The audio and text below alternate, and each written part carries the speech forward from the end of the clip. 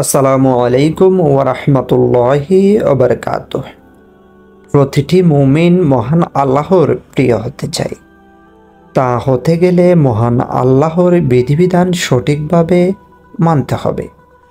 যেমন কাজে মহান আল্লাহ খুশি হন, তাতে বেশি বেশি আন্তনিয়োগ করতে হবে।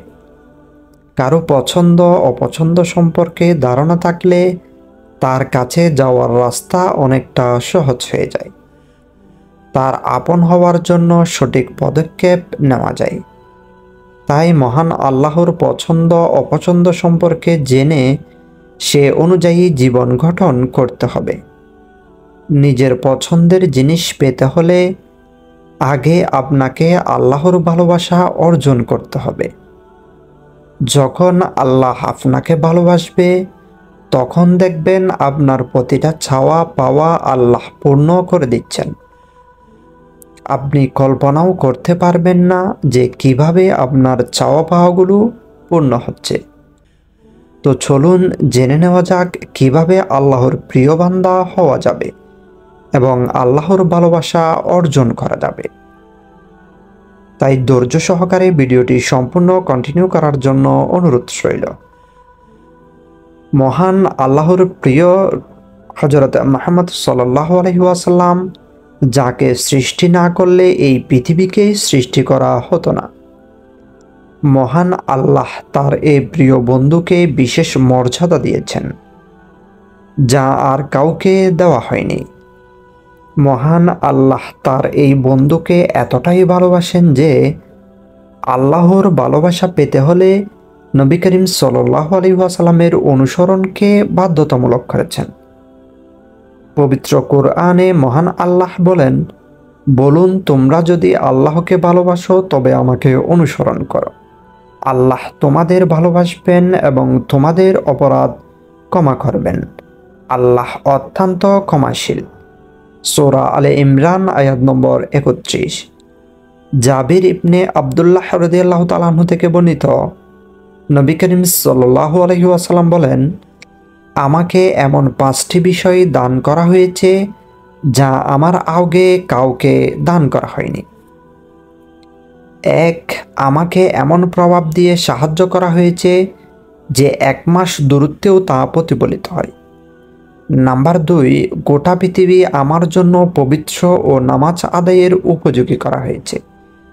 কাজেই আমার উম্মতের যে কোনো লোক ওয়াক্ত হলেই নামাজ আদায় করতে পারবে।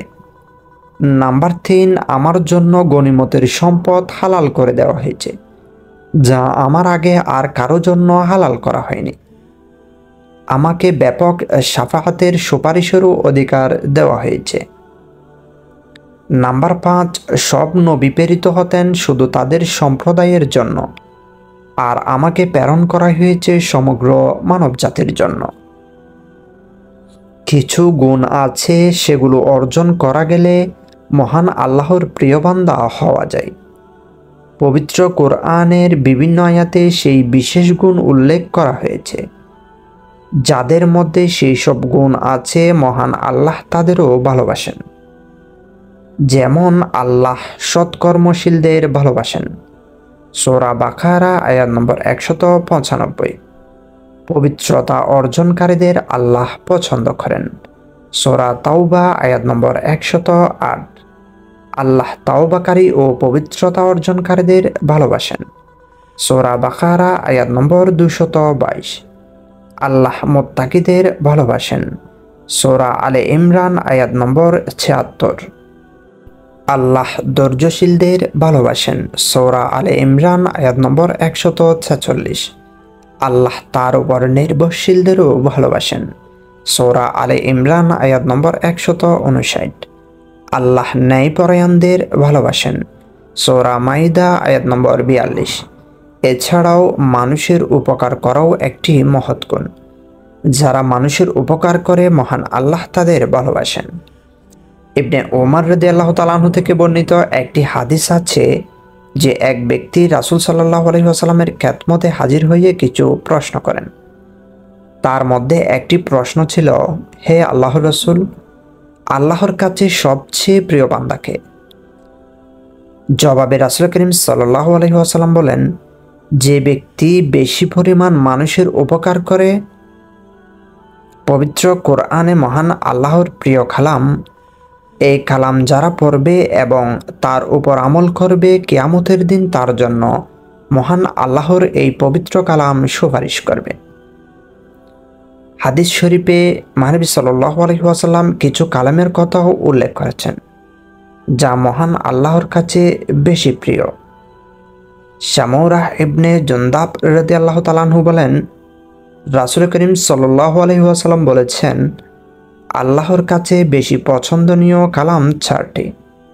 সোবাহান আল্লাহি আলহামদুলিল্লাহি ওয়ালা ইলাহা ইল্লাল্লাহু ওয়াল্লাহ আকবর।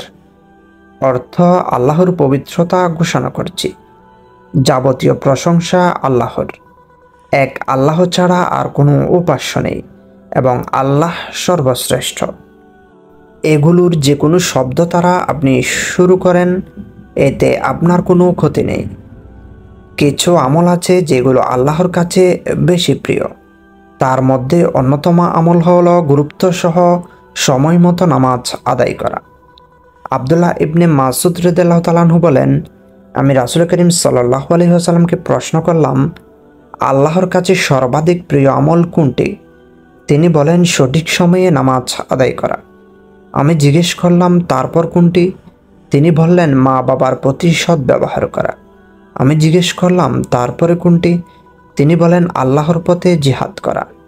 তিনি আমাকে এই কথাগুলো বলেন, যদি আমি আরও প্রশ্ন করতাম, তাহলে তিনি আরও অতিরিক্ত বিষয়ে বলতেন। এছাড়া যে কোনো ন্যাক আমল ধারাবাহিকতা বজায় রেখে নিয়মিত করা হলেও তা আল্লাহর প্রিয় আমলে পরিণত হয়। আইসা রুদাল্লাহ তালানহা থেকে বর্ণিত রাসুল করিম সাল্লাহ আলহিহাস্লামকে জিজ্ঞেস করা হলো, আল্লাহর কাছে সর্বাধিক প্রিয় আমল কি? তিনি বলেন যে, আমল সদা সর্বদা নিয়মিত করা হয়, যদিও তা অল্প হয়। তিনি আরও বলেন, তোমরা সাধ্যের অতীত কাজ নিজের উপর ছাপিয়ে নিও না। কিছু নাম এমন আছে যেগুলো আল্লাহর প্রিয়, বিশেষ করে যে নামগুলোতে মহান আল্লাহর দাসত্ব ফুটে ওঠে। ইবনে উমার রদি আল্লাহ তালাহু বলেন, রাসুল করিম সাল্লাহ আলহিহাসাল্লাম বলেছেন, মহামহিম আল্লাহর কাছে সবচেয়ে পছন্দনীয় নাম হল আবদুল্লাহ এবং আব্দুর রহমান। আল্লাহর প্রিয় জায়গা। পৃথিবীতে কিছু জায়গা মহান আল্লাহর বেশি প্রিয়, আর তা হলো মসজিদ, যেখানে মন, মহান আল্লাহকে সিজদা করা হয়। এটি মহান আল্লাহকে সিজদা করার জায়গা হওয়ায় একে মসজিদ বলা হয়। বান্দা মহান আল্লাহর সবচেয়ে কাছাকাছি তাকে সিজদারত অবস্থায়। আবহরায় রদাল্লাহ তালাহ থেকে বর্ণিত রাসুল করিম সাল্লাহ আলহিহাস্লাম বলেছেন, আল্লাহ তালার কাছে সবচেয়ে প্রিয় জায়গা হলো মসজিদ। আর সবচেয়ে খারাপ জায়গা হলো বাজার। মহান আল্লাহ তালা আমাদের সকলকে সঠিকভাবে আমল করার তৌফিক দান করুক, আমিন। ইনশাআল্লাহ, এই আমলগুলো সঠিকভাবে করলে আল্লাহ তালা আমাদের প্রিয় জিনিসটি আমাদেরকে দিয়ে দিবেন।